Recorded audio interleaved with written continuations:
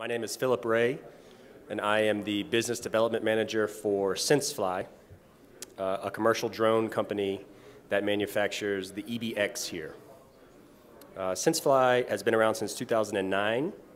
This is the sixth drone that we have manufactured. Um, the eBee X, um, let's say, outdoes anybody else in our class in terms of coverage area. So you are able to get a survey grade topographical map uh, of 1,200 acres in one battery, which is a 90 minute flight time. Uh, we've made some improvements over our old systems in terms of camera options, real-time kinetic capability, where you can communicate with the geobase in order to not set ground control points. Um, we've drastically reduced the price as well.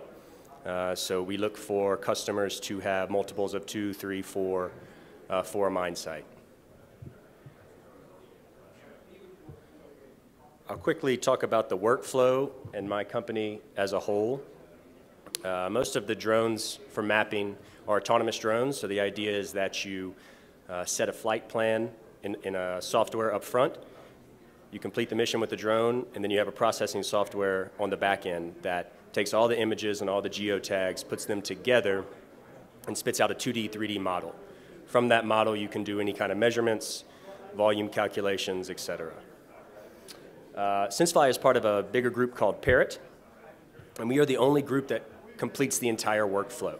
So we make the flight planning software, we make the drones, uh, we make the cameras, the batteries, the GPS. We also make the processing software on the back end. So the idea is that if your site needs a turnkey survey solution, we can provide the entire workflow. We're the only company in the world that can do that. Uh, other people piece together a couple of companies to get the entire workflow.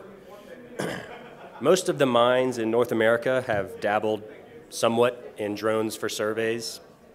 Uh, I guarantee you almost every single one of them has purchased one or multiple over the past, say, four or five years. Uh, we think that we have the most professional solution. So if your idea is you want to go from dabbling or playing a little bit into truly integrating drones into your survey crew, uh, we have the experience over 10 years uh, to help you complete this.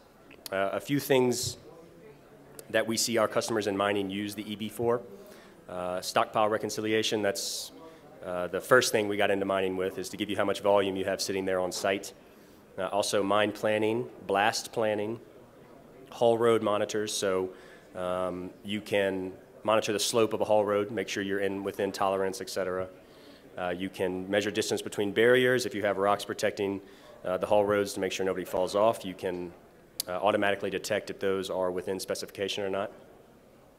And also uh, mineral exploration. So if you've got a new site that's going to become a mine in the future, hopefully, uh, we can cover 1,200 acres in one flight. So within a day uh, of flying, you should be able to cover any and everything, no matter how big the site is. Uh, I've got a couple of brochures here to, talking about the actual drone and the camera options that we have. Also, my booth is directly outside next to the coffee, so uh, if you have any questions about survey mapping using a drone, please come by and speak with me, and I'll be happy to answer. Thank you very much.